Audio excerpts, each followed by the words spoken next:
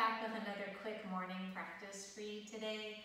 All of the ones that I have uh, recorded so far have been pretty active, so I thought that I would start including some um, more gentle flow classes for you that um, you know you might do when you get up in the morning just uh, before you're going to go off to work um, in a little bit of a shorter span of time.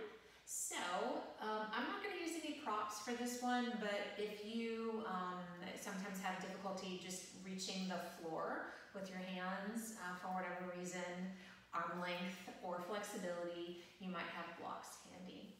So let's go ahead and just sit down and I would face sideways on your mat. And I've got my knees bent and feet out in front of me and my hands back behind me so I can kind of hold myself up. I'm gonna do some seated windshield wipers from side to side uh, to get the hips warmed up a little bit and we're gonna take this movement into some other movements, some stretches.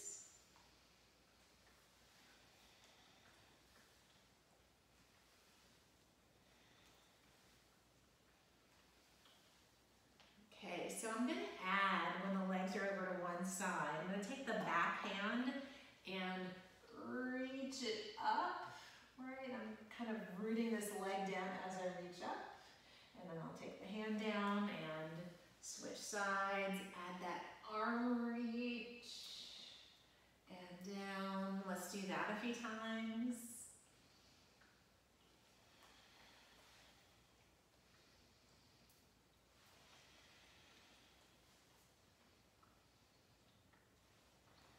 And I'm inhaling as I rotate and reach, and exhaling as I'm coming back down and transitioning. Uh, as long as you're breathing and breathing well, I wouldn't get overly concerned about doing it quote unquote the right way. All right, from here I'm gonna add, so I'm gonna keep my palm kind of facing inward, and I'm gonna reach the pinky edge of that hand down and forward. So I'm kind of folding, but as I press into the pinky edge of my hand, I'm adding a little bit of stretchy goodness kind of near that armpit. And I'll reach back up and switch to the other side. Press down to the pinky edge of your hand.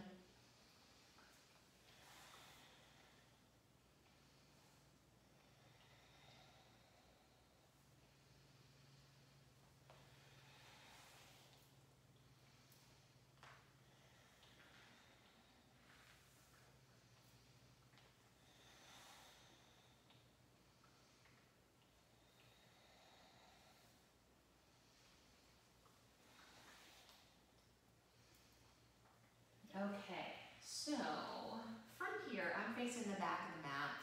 Um, doesn't matter necessarily, but I'm just throwing that out there. Okay, so from this leg position, windshield wiper toward the back of the mat, I'm gonna keep my um, front leg, that's my left leg, and I'm gonna step that back foot forward out in front of this other shin. I'm gonna try to keep this bottom leg somewhat in place. I'm gonna grab hold of this opposite knee and it might be slightly awkward, but I'm gonna roll down to my back and pull that. So this is a variation on wind relieving pose. Normally this other leg is just kind of straight down. Um, I discovered this on accident, but I think it feels interesting. So um, you can you can decide if you also think it feels interesting or or it might feel different for you.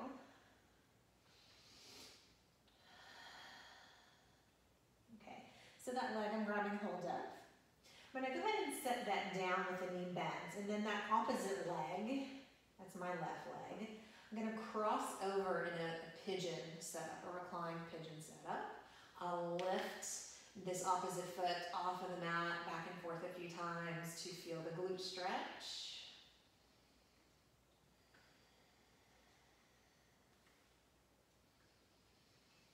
Okay, and then I'm gonna let that pigeon set up, fall to the right.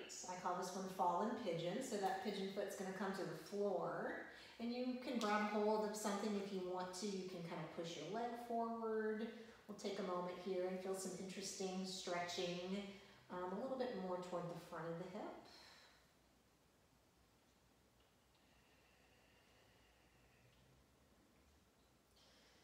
All right, I'm gonna lift up from there, uncross so both feet are down.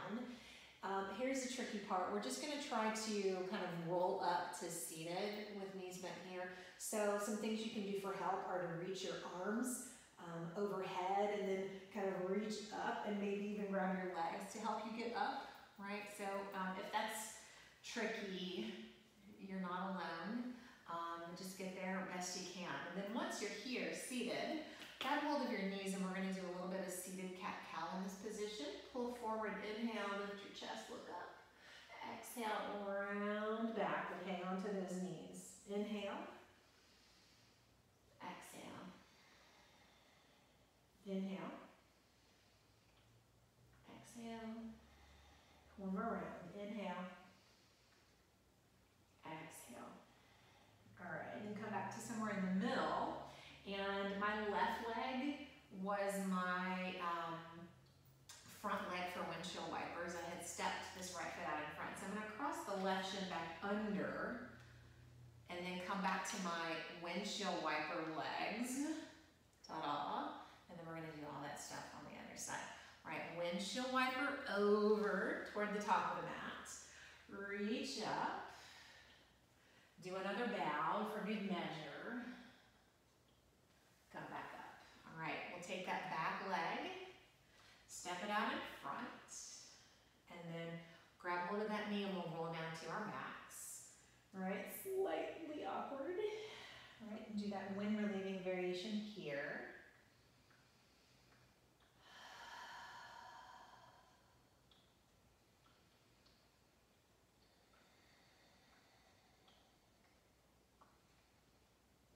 Right, I'm gonna let go of that leg, set it down. Opposite leg comes into a pigeon cross, and then we'll let the foot lift up and down to achieve um, that glute stretch that we like in that pigeon position.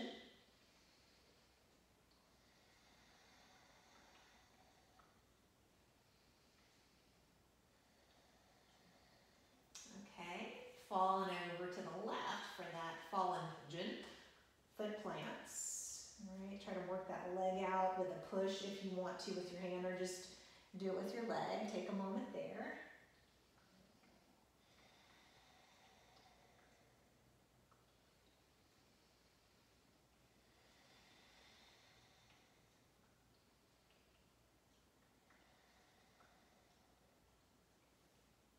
All right, I'm gonna lift up from there.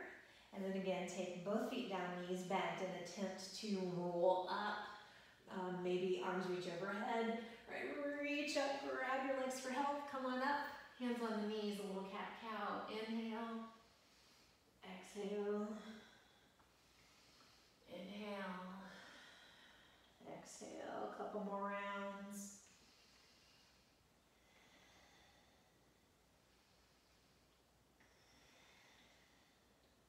All right, and this time from here, um, I'm just gonna kind of cross my legs and get the hands out in front to step back. And then I'll come into downward facing dog from there. Do a little wiggling, foot pedaling, etc.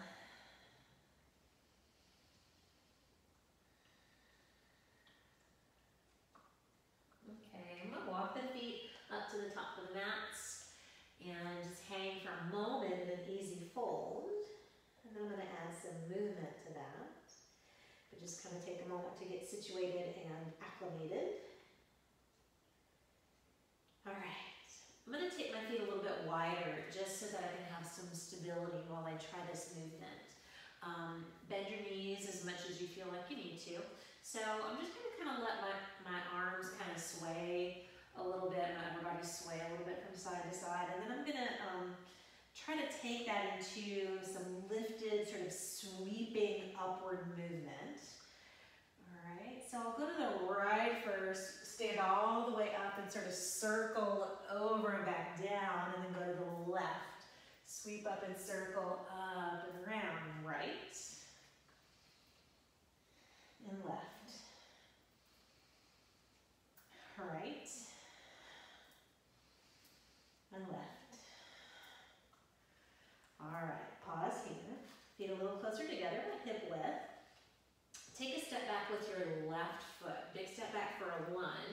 Maybe the hands walk in a little bit. Hands could be on We're gonna take that knee down for a moment from here. We're gonna walk the hips back, walk the hands back, toes down, straighten the leg. Come back forward into the lunge. Right hand behind the head, elbow wide. Reach the elbow up, turn, lower down, take your hands down. Curl the back toes under. Lift the knee, lower it down. You can release those toes. Walk it back again. This time we'll flex as we shift back. And then let's walk it back forward.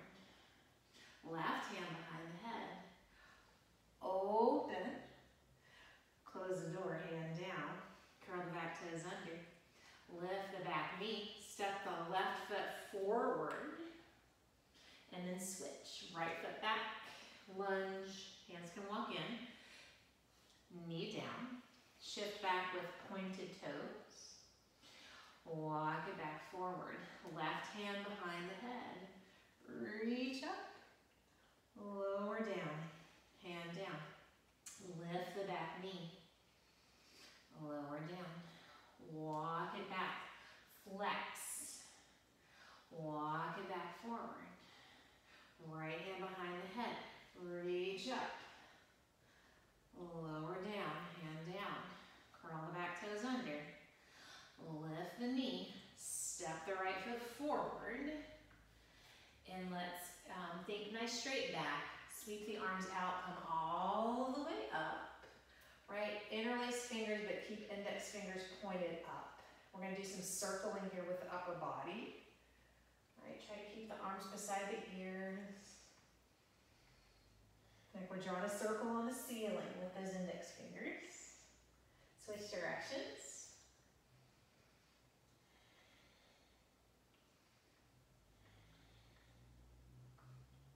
All right, come back to center, take hands to hips.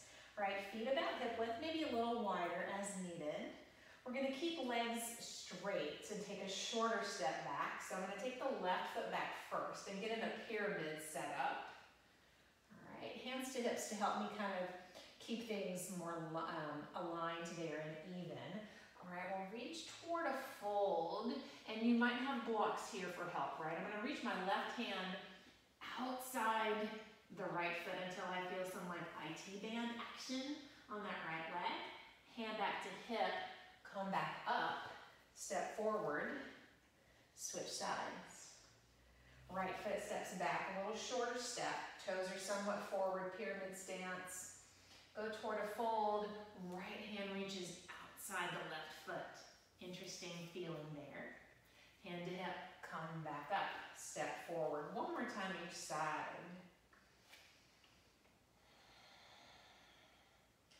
Fold, reach, lift back up, step forward, step back, fold, reach, lift back up, step forward, and fold from here. We're gonna step both feet back, plank, knees to the mat. Try to hug elbows in as you lower all the way down to your belly. Right, keep position, release your feet. We're gonna roll the shoulders forward, back and forth a few times. Try to keep elbows by your sides. And then roll the shoulders back, opposite direction.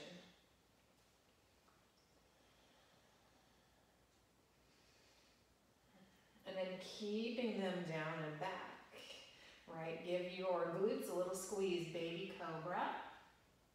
Lower down. Baby cobra. Lower down.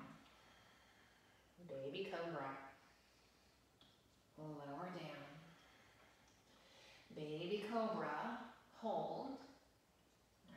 push really firmly up to knees. And then let's go into down dog. Take a moment there, do a little wiggling.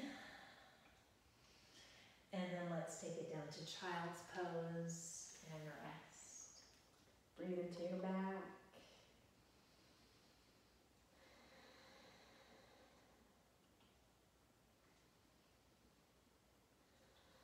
All right, come up to seated close your eyes and take your hands together at your heart and just notice how things are feeling. Notice your breathing. Thank you so much for joining me, and I look forward to practicing with you again soon. Namaste.